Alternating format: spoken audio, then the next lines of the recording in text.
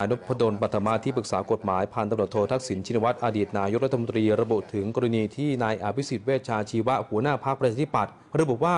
พร้อมจะพูดคุยกับพันตำรวจโททักษิณเพื่อหาทางออกให้กับประเทศว่า ทางพันตำรวจโททักษิณพร้อมที่จะพูดคุย แต่ว่าต้องเป็นไปในทิศทางเดียวกัน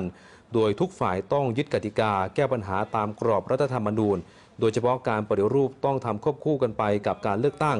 ซึ่งขณะนี้พันตำรวจโททักษิณเดินทางไปที่สหรัฐอเมริกา เพื่อระดมสมองผู้เชี่ยวชาญในการหาทางช่วยเหลือประเทศไทยด้านเศรษฐกิจ เพราะเป็นห่วงอนาคตประเทศ หลังจากอยู่ในความขัดแย้งมานาน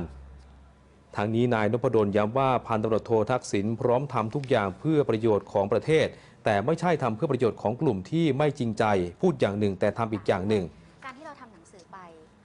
ขณะที่นายสุเทพทึกสุบรรณเลขาธิการกปปสกล่าวบนเวทีสวนลุมพินีนะครับยืนยันว่าจะไม่มีการเจรจาเกิดขึ้น หากข้อเสนอการเจรจาเป็นไปในลักษณะประนีประนอม โดยระบุว่าการเจรจาจะเกิดขึ้นหากสิ่งที่เรียกว่าระบอบทักษิณหมดไป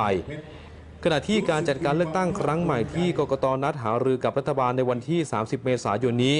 นายสุเทพยืนยันว่าการจัดการเลือกตั้งจะต้องเป็นโมฆะอีก โดยนายสุเทพอ้างถึงประชาชนต้องการปฏิรูปก่อนการเลือกตั้ง แม้ว่าจะมีการรับสมัครเลือกตั้งสสได้ หาเสียงได้ แต่จะไม่มีหีบบัตรเลือกตั้งให้ลงคะแนนอย่างแน่นอน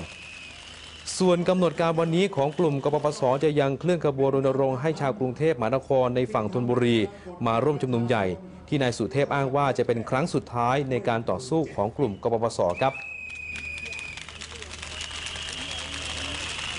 ปฏิบัติตามคำสั่งของ